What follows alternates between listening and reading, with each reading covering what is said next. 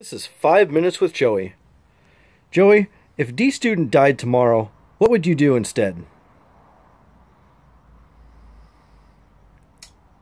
Uh, that's a really good question. I would probably read more, spend time with my son more, and I might even move to Texas or Alaska. And I'd walk away from everything and everyone. You'd never hear me again. I would be around. I'd be gone. What is some evil carnal fantasy you have about your wife that she would never let you do? Um,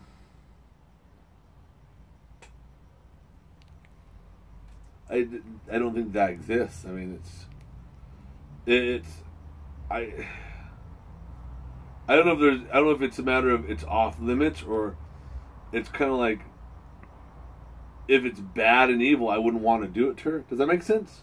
Yeah, I, I wouldn't want to hurt her, sure. but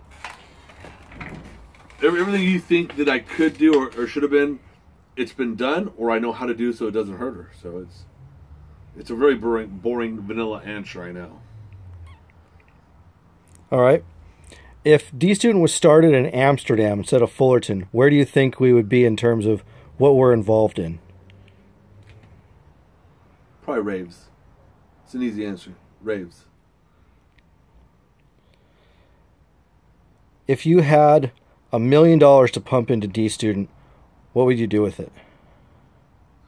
I'd make a pie graph first and foremost, percentage wise.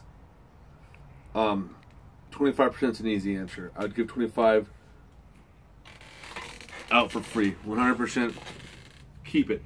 Don't ever fucking return it, and I'll try to give it to as much people that needed it as opposed to wanted it.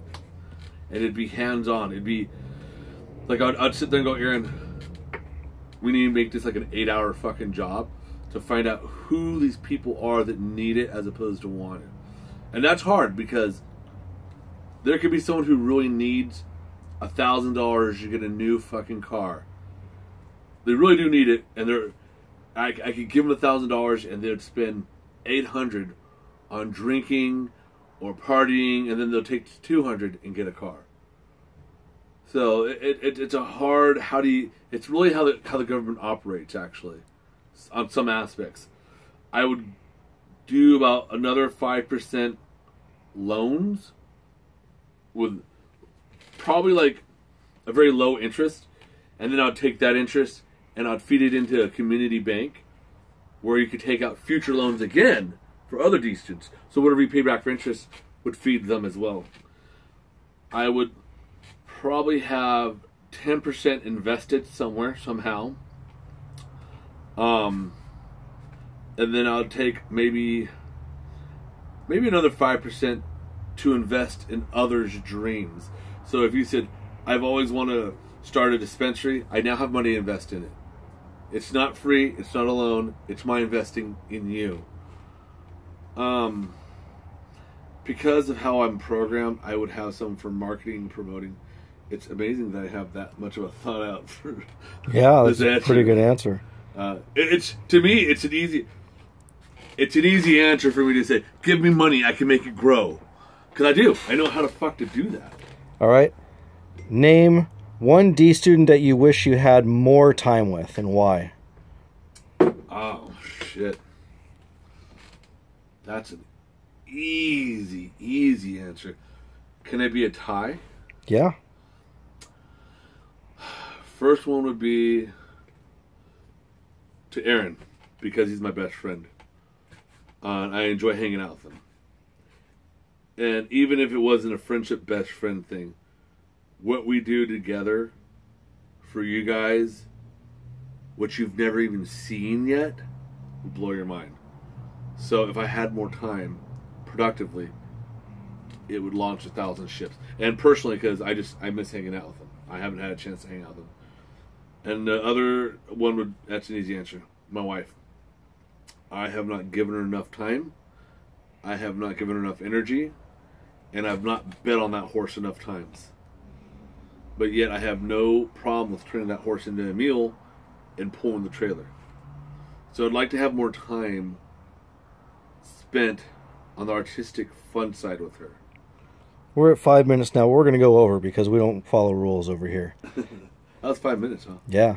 Well, you know, you could actually technically edit so that it's five minutes, right? I don't think there's anything we can cut out. It was all quality. Oh, okay, fair enough. So the next question is, what D student do you kind of regret, if you had regrets, investing time in because they were such a disappointment or such a letdown? Who do you wish you never wasted your time on?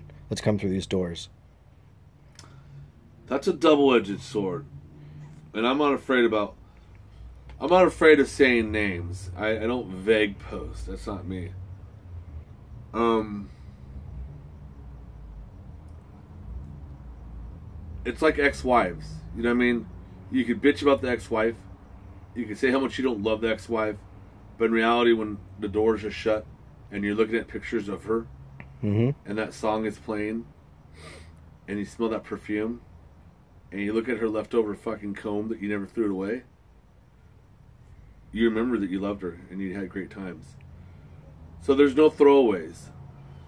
There's a lot of people out there that I am not affiliated or don't want to be affiliated with anymore. And if you ask me, I'll tell you. I'll tell you who they are. Um, I just I don't believe in vague posting. I don't believe in not saying names. But I think this would be the one time that would be considered taking the higher road by not saying their names. I think it'd be very trashy of me to say their names. But if you're out there and you want to know who they really are, you can ask me. I'll fucking tell you. All right. What are your top five life lessons that you would want to impart to today's youth? Depends if they're single or married or have a kid or don't have a kid. They're they're, they're young. Let's say they just turned 18. They, they still have their whole life ahead of them. In What are the- today's age, Yeah. right now, the game has changed. Buy more bullets. Arm yourself. Arm yourself. Believe in the Second Amendment. Because one day, Master's going to want to put a collar on that dog. And if that dog has no teeth to bite back, it's going to be pretty easy to put his ass in the fucking kennel. Getting ready to be put down, ain't it? Two, read more. Read a lot more. Because if you do that, books are just like bullets, even more dangerous.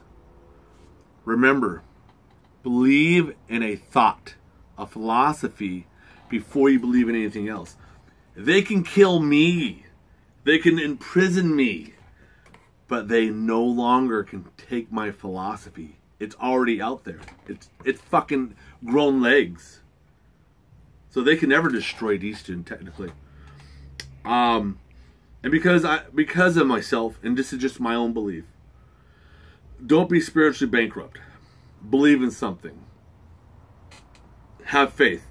Whether it's have faith in faith, have faith in mankind, have faith in love, have faith in God, Buddha, the devil, witchcraft, uh, whatever you Allah, whatever you believe in, have faith in it.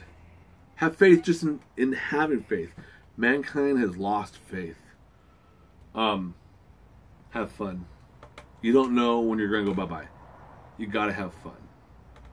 Because if worst case scenario, if everything goes downhill, they fucking ask that famous question behind every single one of us pirates.